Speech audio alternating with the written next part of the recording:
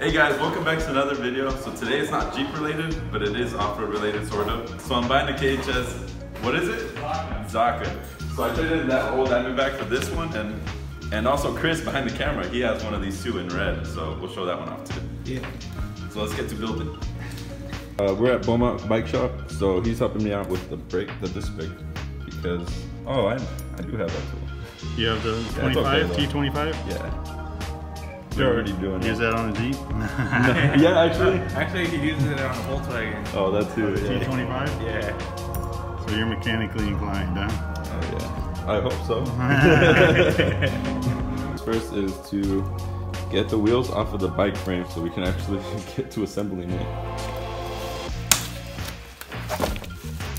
Oh, and this is Chris's bike back there. He has a KHS also. This is the A light. I don't Alite? know. Alite. I don't know. I really like his bike. That's the only reason I went with um, KHS myself, and also because the store was empty and that's all I had.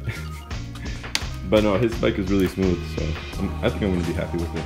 Yeah, and check out the color. It's a matte gray with blue accents and white also.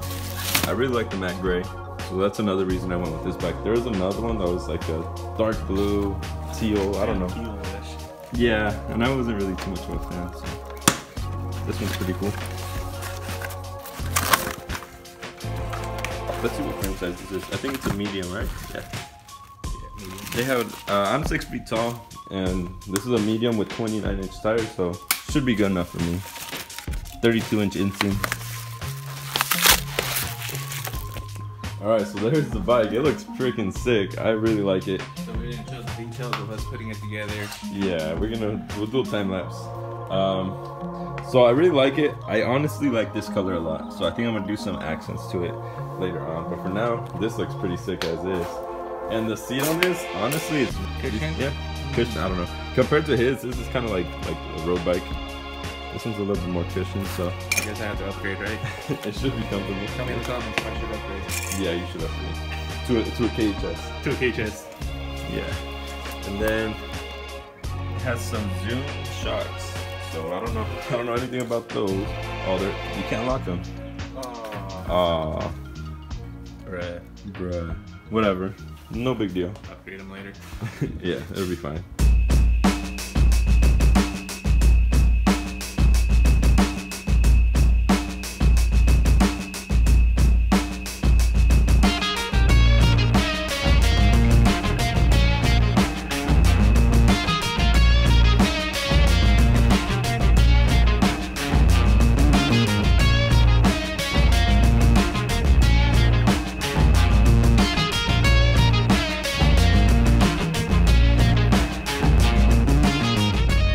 All right, so here's the bike all built now. I really like it. The color just looks amazing. I'm happy with it.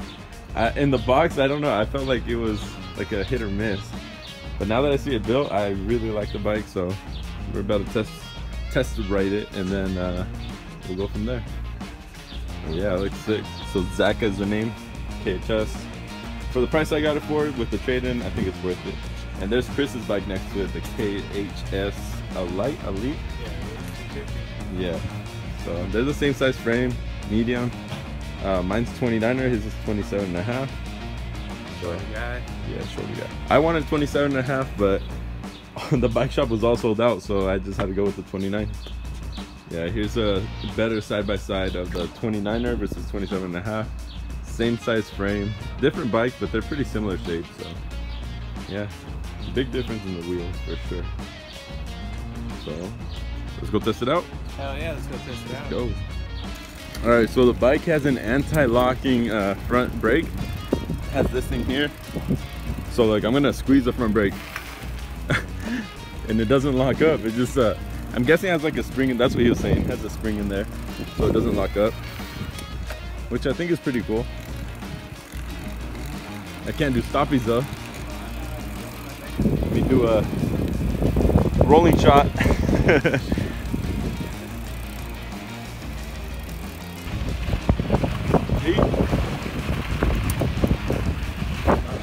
bunch of dirt in my face. All right, first day on the dirt.